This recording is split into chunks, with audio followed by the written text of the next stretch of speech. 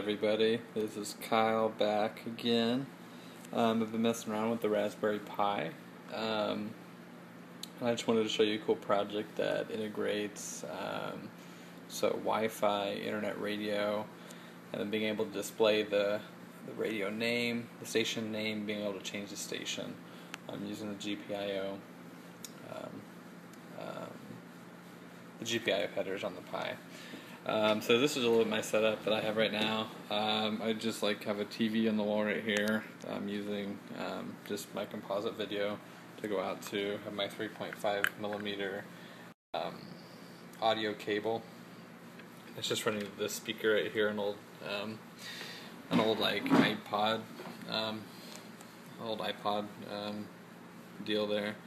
And anyway, so here's my, uh, you got Wi-Fi dongle right here.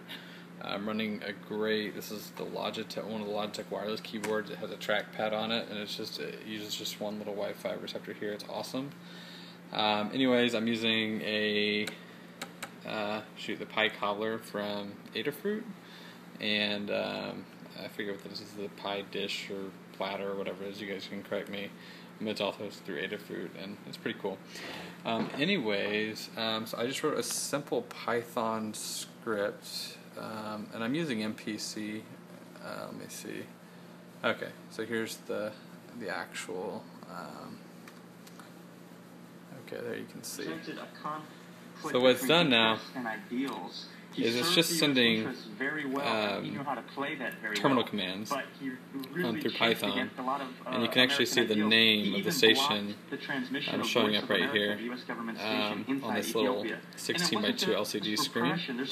And I don't know if you can see, there's, a little, there's actually a little push button over here. It's like really hard to see actually, I'm realizing. Um, but as if you just hit it,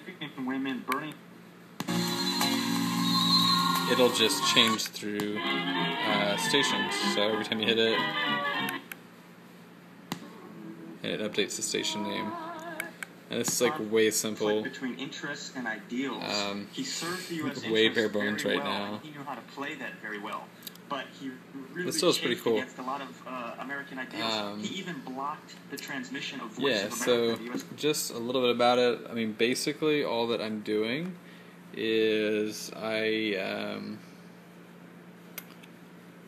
um, your GPIO in you just as an input right here, and um, you're just detecting that once it hits, and it sends it over.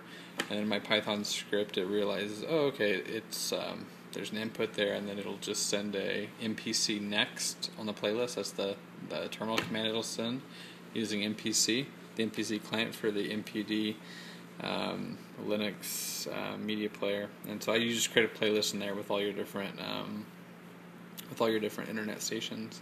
And I can post more about what I'm doing and how to do it. And uh, what I'd like to do um, with this is make um, like a, a, pretty substantial like uh, radio set, like maybe use like an old vintage. Um, like top uh, tabletop radio and um, just have it totally be internet um, radio and able to go through and to use the, the knobs and stuff. But this is just kind of a proof of concept to showing that it works. And um, anyways, so I hope you enjoyed that. Um, and if you have any questions, let me know.